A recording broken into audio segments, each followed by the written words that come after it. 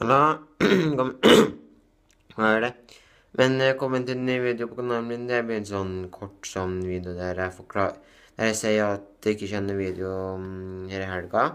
Det er for at jeg skal på sånn UKM-opplegg, så det uh, kommer ikke til å bli noe video. Men uh, dere uh, 28 av den spesialen, den uh, uh, funnet, jeg har funnet ut hva skal, hva skal den bli, da. Så hvis du, hvis du ikke har sett den videoen fra i går der jeg sier hva den skal bli, så kan du, se den, anbefaler.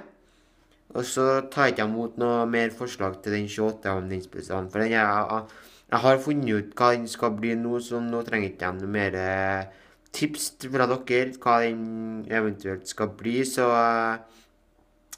og det skal, så skal, skal være en sånn video der jeg får si eh, litt om YouTube-bakgrunnen min, og hvordan jeg starta, og hvordan har eh, turen vært, veien vært til 28 abonnenter. Og så skal jeg ha en Q&A, og så kan du skrive Q&A Q&A kolon.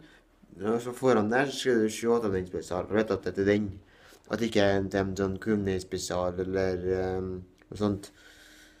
Og um, da kan du legge igjen spørsmålet i kommentarfeltet under denne videoen her. Så um, håper jeg at du, du, stiller meg bra spørsmål, og, uh, og at du kommer til å like den spesialen. Jeg, jeg driver og venter på spørsmål fra dere, så når jeg har fått noen spørsmål fra dere, så skal jeg sette meg ned en dag og så ordne den spesialen, så det ikke tar så lang tid for dere å vente. Jeg håper på at dere ikke syns det blir lang, tar for lang tid å vente på dere spesialene.